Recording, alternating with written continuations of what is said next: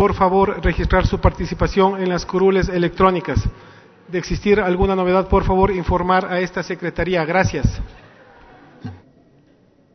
Hemos escuchado así la moción que ha sido presentada por parte de la asambleísta Joana Cedeño, presidenta de la Comisión de Fiscalización, a propósito del punto número 2 de la sesión del Pleno 611 que se cumple a esta hora en el Salón Nela Martínez. El punto 2 tiene que ver con conocer y resolver sobre el memorándum del 26 de julio de 2019 remitido por la Comisión de Fiscalización y Control Político en el que se determinó el pasado 13 de junio que la Comisión de Fiscalización debe realizar las investigaciones sobre las denuncias de los medios digitales La Fuente y Mil Hojas en el artículo determinado como Odebrecht y otras multinacionales pusieron presidente en el Ecuador.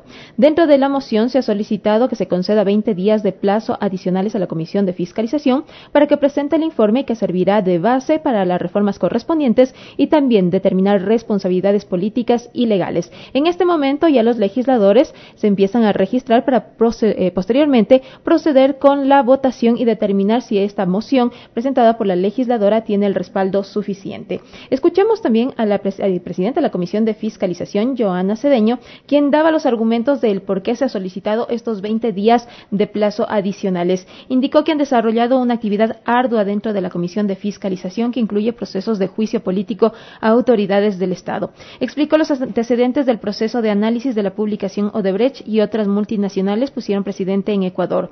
Dio a conocer el plan de trabajo que está desarrollando la Comisión a propósito de este punto, en el que se ha convocado ya a los periodistas que presentaron y elaboraron esta publicación informativa. También ya se convocó a las autoridades del Consejo Nacional Electoral y expresidentes. Señor presidente, se pone a consideración del Pleno de la Asamblea Nacional la moción presentada por la asambleísta Joana Cedeño. Son 86 los legisladores que se encuentran presentes y vamos a conocer cómo es el resultado de esta votación. Pero decíamos que también se explicó el trabajo que se ha desarrollado. Ya se ha convocado a los periodistas que presentaron esta publicación, se convocó a las autoridades del Consejo Nacional Electoral, a los expresidentes también del Consejo Nacional Electoral, al Contralor, a la fiscal y a la directora del Servicio de Rentas Internas, pues así determinaba también la resolución aprobada por el Pleno para el trabajo de la Comisión de Fiscalización. La comisión realizó nueve sesiones sobre este caso, el caso Arroz Verde y Lucas Majano, como lo determina la resolución del Pleno.